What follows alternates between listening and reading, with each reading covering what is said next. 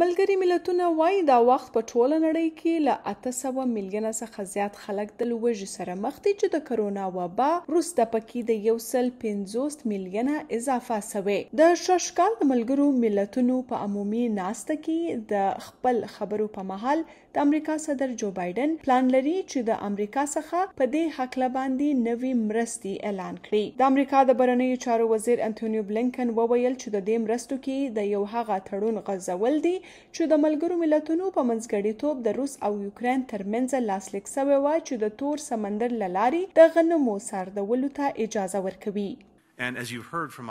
لکه څنګه چې تاسو زما له همکارانو څخه اورېدلي دي، پرته له هغه غلط معلوماتو چې له ماسکو څخه راځي، غنم او نور خوراکي توکي هغه ځایونو ته رسېږي چېرته چې زیات ضرورت دی. دا په نړۍ کې د خوراکي شیانو د بیو په راکمولو کې هم مرسته کوي. خو د روس صدر ولادیمیر پوتین وایي دا تړون کار نه کوي او هغه په یوکرین د خپل برید پر ځای د خوراک د کمېدو ذمهواره غربي هیوادونه په روس بندیزونه لامل بلي.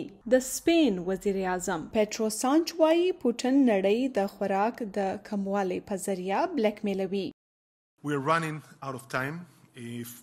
موږ سره وخت کم دی، که کروندګر په وخت سره ترلاسه نه کړي نو د غریب یا حتی د نورو هیوادونو وضعیت به نور هم خراب شي. باید دا روښانه کړم چې د لوږې سره سوله نشي راتللی او د سولې بغیر موږ د لوږې مقابله نشو کولی.